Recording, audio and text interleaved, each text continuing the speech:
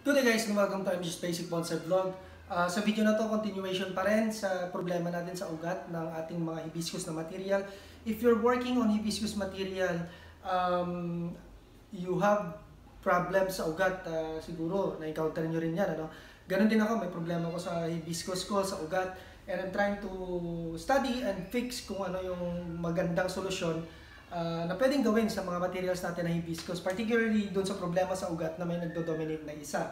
I already mentioned some of the things na ginagawa ko in my previous videos using hibiscus material, kagaya nito. And itong hibiscus na to, gagawin din natin to. Uh, and papakita ko rin yung ugat niya. Sigurado, puno na rin to ng ugat dito kasi sobrang bilis siyang tumubo. Ano? Um, just gonna cut this and prepare this plant kasi iriripat ko siya. Papalitan ko yung paso niya na ito na maliit uh, gagamitin ko na lang ditong balde na to, dito ko na lang siya itatanim for the next stage ng kanyang training. Okay? So ita timelapse ko lang uh, yung pagbawas ko ng sanga nito and then tatanggalin ko yung ugat and then we will talk about the plants I or the hibiscus material. I hope you continue watching.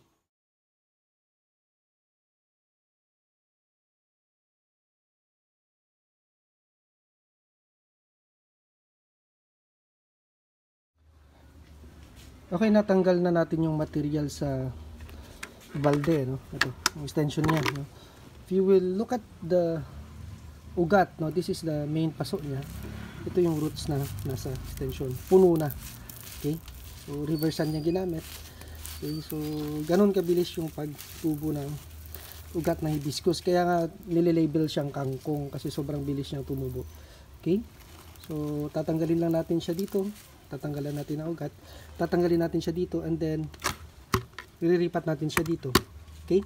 Para sa training niya for this year. pag uh, transfer ng tanim natin uh, from the pot dito sa and then dito sa malaking pasok na or balde na ito no? So uh, what I am hoping kasi this will become part of the vlog no? Sa channel na to uh, we can document the progress of this tree Uh, dito sa balde na to, magpapatubo lang ako ng second generation ulit ng kanyang branches.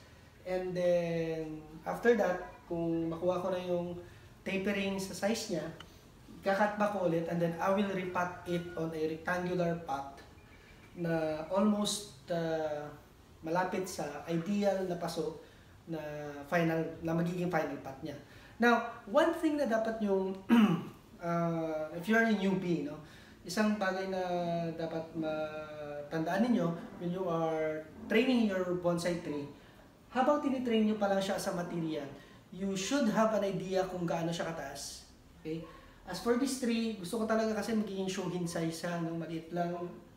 Uh, pero kung hindi ko siya makaya, okay na, kahit uh, small size na lang siya na bonsai. Okay? So, hindi ko na siya masyadong gawing malaki. Uh, kahoy, maybe hanggang dito lang siguro no, yung magiging tip ng apex niya. No, ganyan na siya kaliit. Okay? So,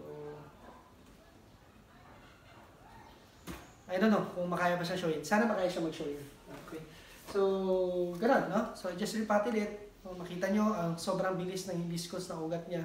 And that's one thing na dapat careful tayo when we are training hibiscus, lalo na sa mga nagtatanim ng hibiscus ngayon So, you try to continuously observe yung mga ugat niya and then you continuously train yung ugat niya para hindi lang isa yung mag-dominate na ugat. So that you will have a good uh, spread on the root flare of the ribari of your uh, bonsai material na hibiscus. Okay? So, thank you for watching. Remember, malaki man o maliit yung ginagawa niyo sa bonsai. Enjoy your bonsai journey, one bonsai at a time. Salamat!